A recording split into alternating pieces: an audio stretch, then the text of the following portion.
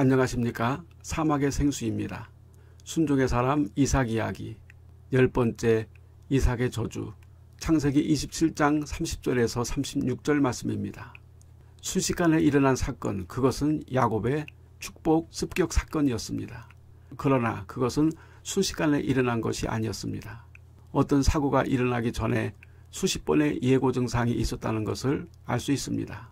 하인리히 법칙이라는 것이 있는데 업무 성격상 수많은 사고 통계를 접했던 하인리히는 산업재해 사례 분석을 통해 하나의 통계적 법칙을 발견했습니다.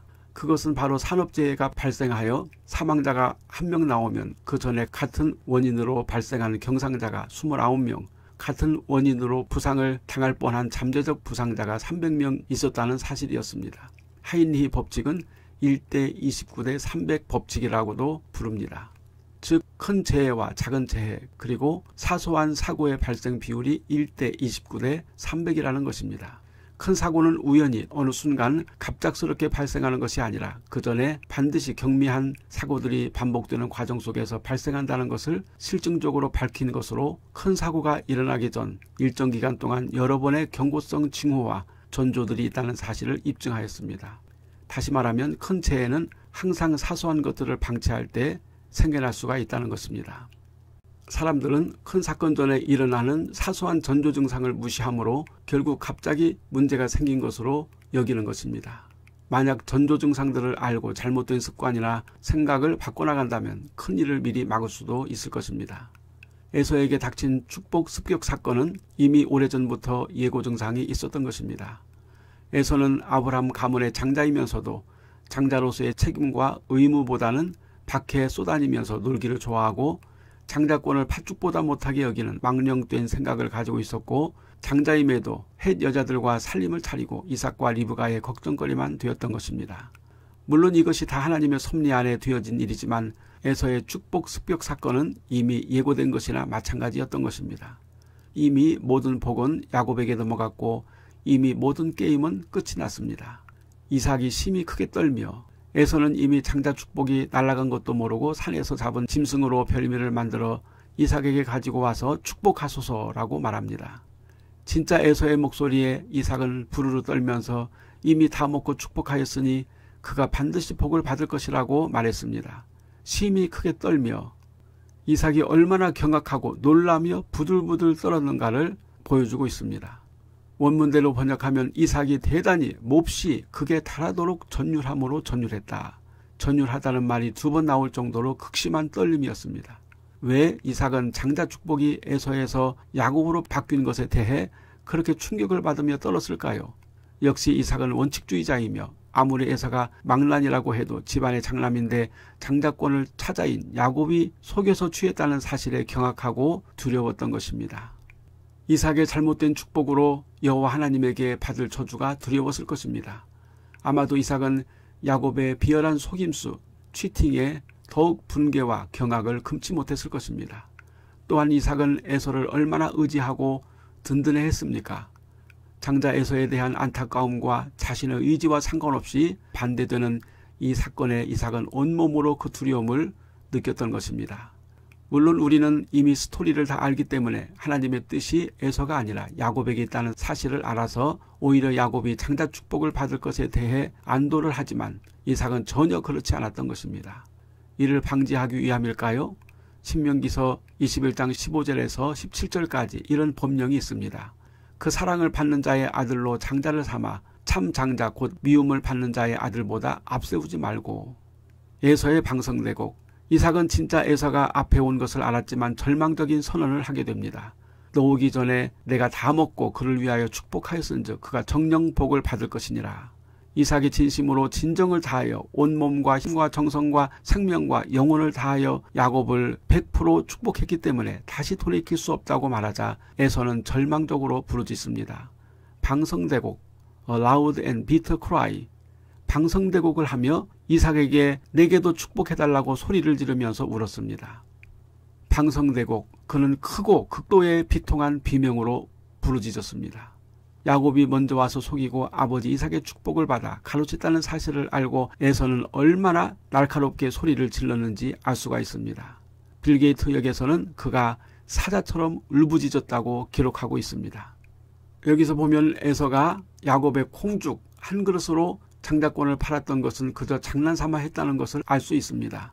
그냥 장난이고 농담이겠거니 했는데 현실이 된 것입니다. 어떤 집사가 신앙생활을 게을리하고 세상에 오락에 빠져서 주의를 빼먹고 믿음 생활을 소홀히 하자 목회자가 말했습니다. 집사님, 그렇게 하시다가 믿음 잃어버리시면 지옥 갈 수도 있어요. 그러자 그 집사는 에이, 목사님 농담도 잘하시네요. 제가 지난 10년간 헌금을 얼마나 많이 하고 교회 봉사를 얼마나 많이 하고 지난번에 부흥회 때는 방언도 받았는데 설마 지옥에 가겠어요? 라고 말했답니다. 히브리서 12장 17절에는 저가 그 후에 축복을 기업으로 받으려고 눈물을 흘리며 구하되 버림바가 되어 회개할 기회를 얻지 못하였느니라 라고 말씀하고 있습니다. 이미 때는 늦으리였습니다. 왜 그럴까요? 이삭이 야곱에게 내려준 장자 축복은 이삭이 준 것이 아니라 여호와 하나님께서 주셨기 때문입니다. 에서는 아버지 이삭의 권유로 혹은 백으로 야곱에게 내린 축복을 거두어 자기에게 돌려줄 수 있다고 생각했던 것 같습니다. 에서는 이삭에게 야곱이 자기를 속인 것이 이번이 두 번째라고 고발했지만 이삭은 다시 돌이킬 수 없다고 말했습니다. 여호와 하나님은 이미 에서를 버렸는데 팥죽 한 그릇보다 장자권을 우습게 여겨서 너나 가져 하고 빈정거렸을 때 이미 하나님은 에서에게 빈정이 상하셨던 것입니다. 말라기 1장 2절 3절 말씀에 나 여호와가 말하노라 에서는 야곱의 형이 아니냐 그러나 내가 야곱을 사랑하였고 에서는 미워하였으며 그의 산들을 황묵해 하였고 그의 산업을 광야의 실랑에게 붙였느니라. 여기서 사랑하였다는 말은 택하셨고 미워했다는 말은 버렸다는 뜻입니다. 에서는 자기의 장자 축복을 빼앗아간 야곱에 대해서 원망과 원한의 일을 갈았습니다. 기회가 지나면 다시 번복할 수 없는 복, 그것이 하나님의 복입니다. 우리에게 인생은 한 번밖에 없고 다시 인생을 살 수 없는 것처럼 말입니다. 그래서 우리는 신중하게 생각해야 하며 하나님이 주신 기회를 놓쳐서는 안 됩니다. 이삭은 에서에게 줄복이 남아있지 않다고 했을 때 에서가 할 수 있는 일은 땅을 치고 통곡하며 부르짖는 것 뿐이었습니다. 예수님은 비유 말씀에서 슬피 우며 이를 갈미 있으리라고 일곱 번을 말씀하셨습니다. 슬피 울며 이를 가는 자는 하나님의 은혜를 버리고 회개할 기회를 버리고 하나님에게 다시 돌아올 기회를 버리고 나간 자들을 향한 예수님의 마지막 경고인 것입니다. 고린도 후서 6장 2절 말씀에 가라사대 내가 은혜 베풀 때에 너를 듣고 구원의 날에 너를 도왔다 하셨으니 보라 지금은 은혜 받을 만한 때요 보라 지금은 구원의 날이로다. 이사야 49장 8절 말씀에 여호와께서 또 가라사대 은혜의 때에 내가 내게 응답하였고 구원의 날에 내가 너를 도왔도다. 바울은 이사야서를 인용하여 은혜와 구원의 때가 있다고 경고하고 있습니다. 은혜의 때에는 은혜를 구해야 하고 구원의 날에는 구원을 사모해야 합니다. 에서는 장자로서 하나님의 은혜와 도움을 구해야 할 사람이 세상에 빠져 육체의 쾌락을 쫓았던 것입니다. 슬피 울며 통곡하는 에서에게 이삭은 비정하리만큼 끔찍한 저주를 내렸습니다. 모든 복은 야곱이 가져갔으니 에서에게 줄 것이라고는 저주밖에 없었기 때문입니다. 너의 주소는 땅의 기름짐에서 뜨고 내리는 하늘 이슬에서 뜰 것이며 너는 칼을 믿고 생활하겠고 아우를 섬길 것이며 네가 매임을 벗을 때에는 그 멍에를 네 목에서 떨쳐 버리리라. 이 말은 너는 땅의 기름짐과 하늘의 이슬로부터 out of 멀어질 것이며 너는 사람들과 전쟁을 하고 원수가 되어 살 것이며 너는 내 동생의 종이 될 것이며 결국 야곱의 후손들인 이스라엘에게서 전쟁을 통해서만이 원한의 멍에를 벗을 것이라는 뜻입니다.